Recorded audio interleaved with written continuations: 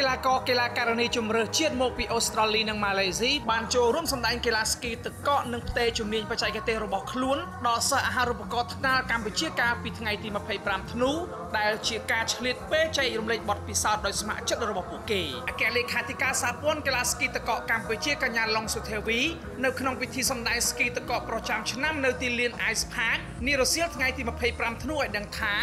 វត្តមានកីឡាករកីឡាករនីជម្រើសជាតិទាំង3រូបនេះពិតជាមានតម្លៃនិងសារៈសំខាន់បំផុតសម្រាប់ជំរុញនៅទឹកចិត្តដល់កីឡាករវ័យក្មេងកម្ពុជាឲ្យទទួលបានបទពិសោធន៍និងបន្តក្តីសុបិនរបស់ពួកគេនឹងមានការអញ្ជើញកីឡាករនីនិងកីឡាករពីប្រទេសម៉ាឡេស៊ីហើយនឹងមួយទៀតគឺកីឡាករពីប្រទេសអូស្ត្រាលីចា៎អឺកីឡាករអន្តរជាតិទាំង3នាក់ហ្នឹងគឺខាងយើងអញ្ជើញគាត់មកហើយ គាត់អត់មានគិតថ្លៃ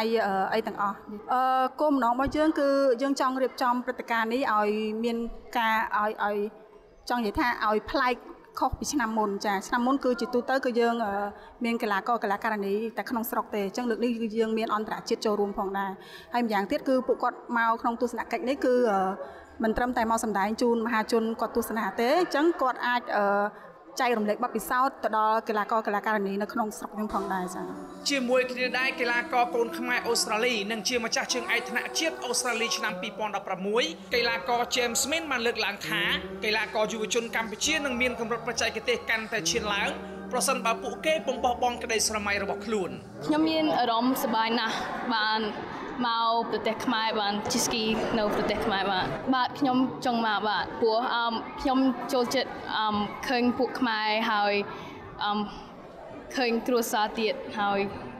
អមជីស្គីតកក្នុងប្រទេសខ្មែរបាទអមកំបោះបងបាទ don't give up គួរបញ្ជាក់ថាព្រឹត្តិការណ៍សម្ដែងបច្ចេកទេសកីឡាស្គីតកកនេះមានកីឡាករកីឡាការិនីសរុបចំនួន60រូបចូលរួមដោយឡែកកីឡាករទាំង3រូបស្ថិតនៅក្នុងក្រុមជម្រើសជាតិអូស្ត្រាលីនិងម៉ាឡេស៊ី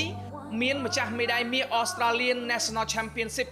2016កីឡាករ James Smith រួមជាមួយជើងឯកថ្នាក់ជាតិឆ្នាំ2016ប្រចាំប្រទេសម៉ាឡេស៊ីកីឡាករនី A Valentin និងកីឡាករ Nicholas Tan ខ្ញុំនិនមករា PNN ភ្នំពេញ